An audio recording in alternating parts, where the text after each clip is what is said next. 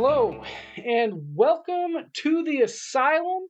I'm your host, Don, and with me today is no one because once again, Jeremiah left me.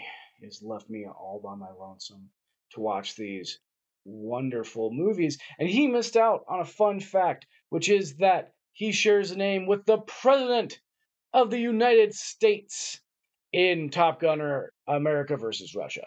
So, we're talking about, obviously, the Top Gunner movies. Uh, it turns out, I found out after further research that there are actually three of these.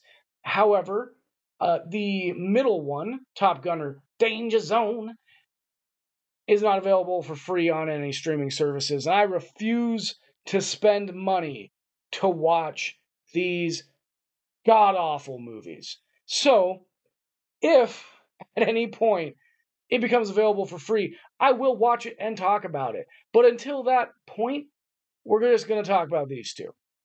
So, our movies are Top Gunner and Top Gunner America versus Russia.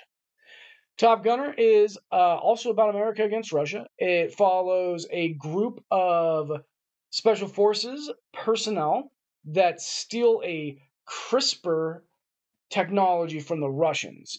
CRISPR is a real thing. It is a uh, science based around using a specific type of RNA to rewrite DNA, and we're trying we're trying to use it for like cancer research stuff like that. It's a real thing. It actually exists. So good on you, Asylum, for doing at least a modicum of research. These special forces personnel are escaping and they're going over South America when they get attacked. And they're in their super spy mobile airplane thing. And they crash in a not yet approved American base in, I think, Brazil, somewhere in South America, where Eric Roberts is the CEO and he's training these young pilots on how to be pilots. And of course, you have all the very unique characters the guy who messes up, the guy who's really good, and the token female. And there may have been a fourth guy, I'm not entirely sure. And so they have to protect these special forces personnel from the Russians who are arriving, and hijinks ensue. Not really a lot of talk about in this movie. It wasn't very good, but it wasn't very bad. It was really boring. Um, on the bright side, Eric Roberts actually does attempt to be involved in this movie, as opposed to the last movie that we saw Eric Roberts in that was done by the Asylum. But overall, uh, it's not very good. So the Russians end up uh, showing up, getting through, getting their CRISPR back. Uh, the leader of the special forces gets shot by a really, really bad sniper. So he shoots him and he goes down, but he's totally fine.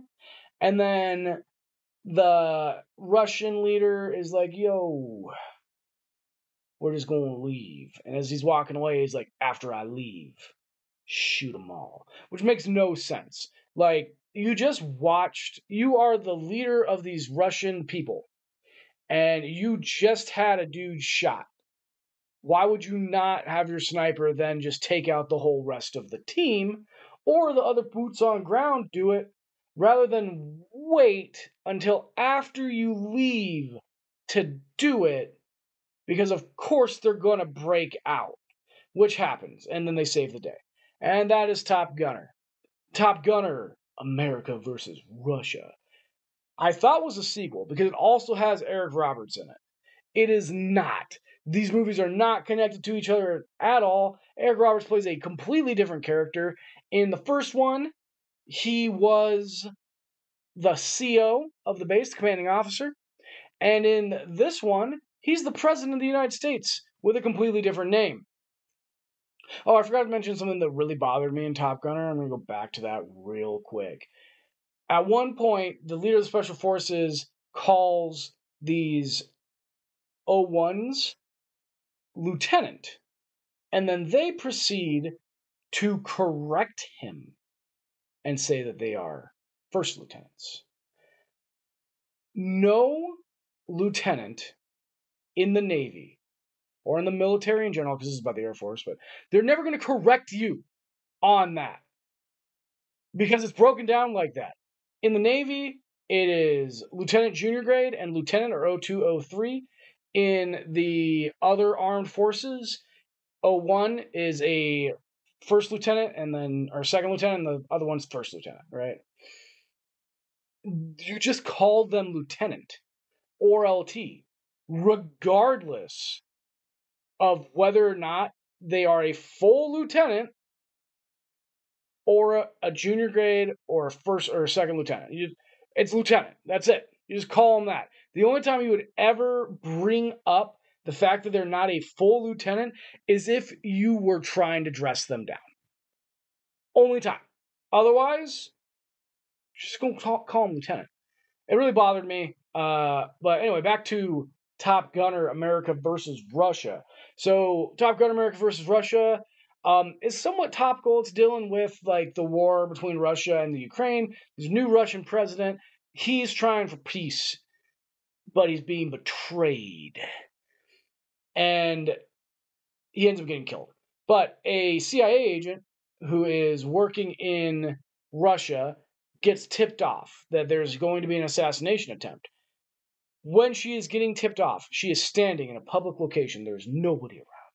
They verified that they were free and nobody could be listening in. Standing on a bridge, having this conversation about the oncoming assassin- assassination of the Russian president. And then her informant gets shot. Except that he gets shot by a guy standing two feet behind them. Two feet. What kind of spy does not notice that there is a guy two feet behind them with a gun while having a top secret conversation? Whatevs. So she manages to contact the vice president in time to warn him of what is happening, and they save the Russian president's life. At the same time, we have two pilots on the John F. Kennedy aircraft carrier out in the middle of the ocean doing pilot things. And they are testing out the brand new FAX, which is some new fighter plane that supposedly we are making. And so they're trying them out, testing them. One of them's obviously a hothead, the other one's a female and he knows the vice president for some reason. So, after saving the Russian president's life, the Russian president gets on his version of Air Force One, starts flying back to Russia. He's like, We got to start investigating. And while he's talking, the Minister of Defense for Russia shoots him in the head and assumes the presidency, and then sends fighter planes to go bomb DC. But whilst en route, they have to go over the John F. Kennedy. So they're going to bomb the John F. Kennedy first. But fortunately, the pilots on John F. Kennedy are up in the air in their special FAXs, and they are not ready for them, but they are able to respond. So there are a couple issues with this. One, aircraft carriers don't travel alone. Ever because they are very easy to see. An aircraft carrier has a whole fleet with it. It's got destroyers, it's got cruisers, it might even have some submarines. It's got all of this in preparation that if somebody were to try to attack, we'd be ready. Additionally, they have a ungodly amount of anti-aircraft weaponry. You would not be able to send random pilots who were on a bombing run to a civilian city and have them successfully attack an aircraft carrier. No. Literally impossible. But they try it anyway. And they apparently succeed because this is a movie. So the pilots who just happen to be in the air chase them down and inform uh, America that these Russian pilots are on the way and then Russia sets off some nuclear warheads that are on their way, and the CIA agent manages to assassinate the new president and install her friend as the new new president, and then they stop the nuclear warheads. This movie actually has very little to do with fighter pilots. Very little. Uh, and yeah, that's that's Top Gunner. Again, very boring. and convoluted. Um, these two movies are not great. Eric Roberts does a better job in them than he did in the last movie he was in, so that's a bonus. But other than that, don't waste your time. I wasted three hours on these movies, and you don't need to do that. You have more important things to do with your life. You could go outside.